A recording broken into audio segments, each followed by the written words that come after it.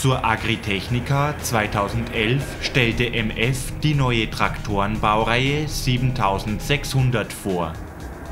Was die neuen besser können als ihre Vorgänger, haben wir bei der Probefahrt mit einer Vorserienmaschine herausgefunden. Die Baureihe umfasst vier Modelle im Leistungsbereich von 185 bis 235 PS. Uns stand der zweitkleinste Vertreter, ein 7620 mit stufenlosem Fahrantrieb zur Verfügung. Schauen wir uns den Traktor im Detail an.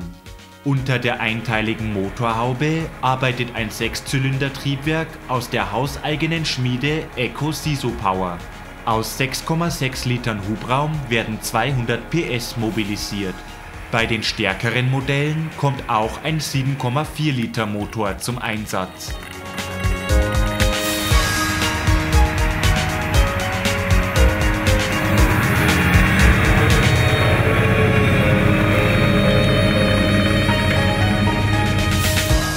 Für die Abgasnachbehandlung bringt MF die zweite Generation seiner SCR-Technik zum Einsatz. Der 40 Liter große AdBlue-Behälter ist in den 430 Liter Dieseltank integriert.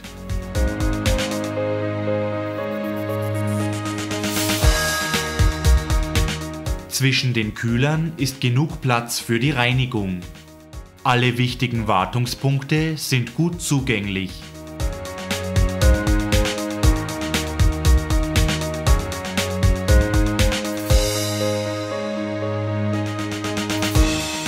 Für das Heckhubwerk gibt MF eine maximale Hubkraft von 9300 Kilogramm an. Der fünfscharige Anbaupflug von Lemken war für unseren 7600er kein Problem.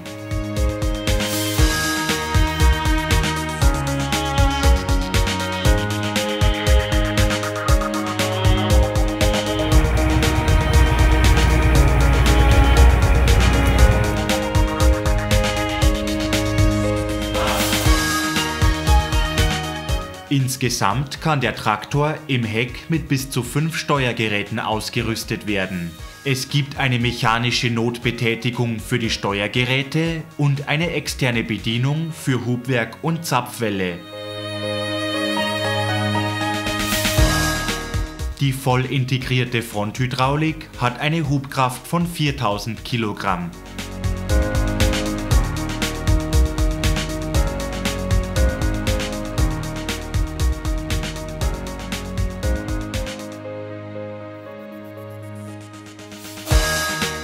Für hohen Fahrkomfort im Feld und auf der Straße sorgen die OptiRide Plus Kabinenfederung und die Quadlink Vorderachsfederung.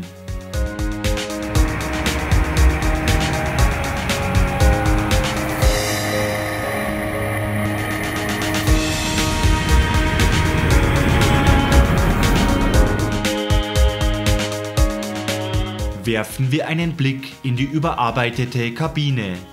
Hier verbessern viele kleine Änderungen den Komfort und die Übersichtlichkeit. Den Lärmpegel gibt der Hersteller mit 70 Dezibel an.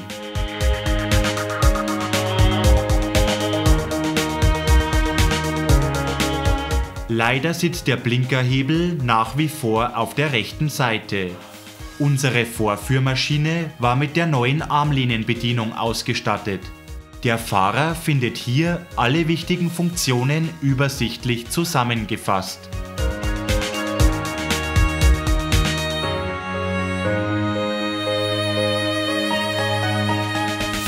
Änderungen der Geschwindigkeit oder Schaltvorgänge lassen sich jetzt am neuen Multifunktions-Joystick und am Kreuzsteuerhebel vornehmen.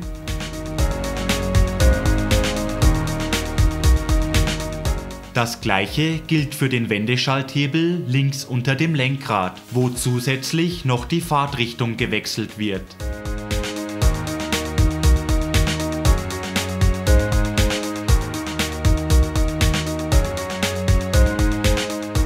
Der Fahrtrichtungswechsel ist aber auch per Knopfdruck an beiden Hebeln in der Armlehne möglich. Zudem findet man am Joystick Bedienelemente für Tempomat, Hydraulik und Zapfwelle.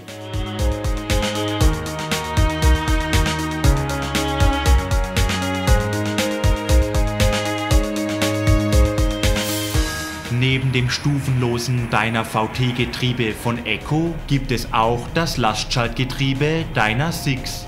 Es verfügt über 24 Gänge, die auf vier Gruppen mit jeweils sechs Lastschaltstufen aufgeteilt sind. Alle Dyna 6 Modelle arbeiten mit einem Power Management System, das bei Bedarf bis zu 25 PS zusätzliche Motorleistung freigibt.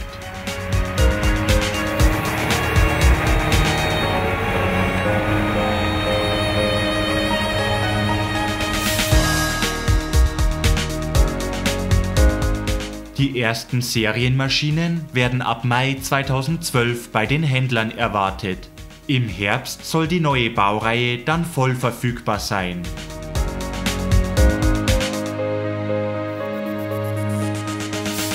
Je nach Motorisierung, Getriebebauart und Ausstattungsumfang kostet ein neuer 7600er zwischen 140.000 und über 200.000 Euro inklusive Mehrwertsteuer. Unseren ausführlichen Fahrbericht mit allen technischen Details finden Sie in der Ausgabe 1 2012 des Fortschrittlichen Landwirts.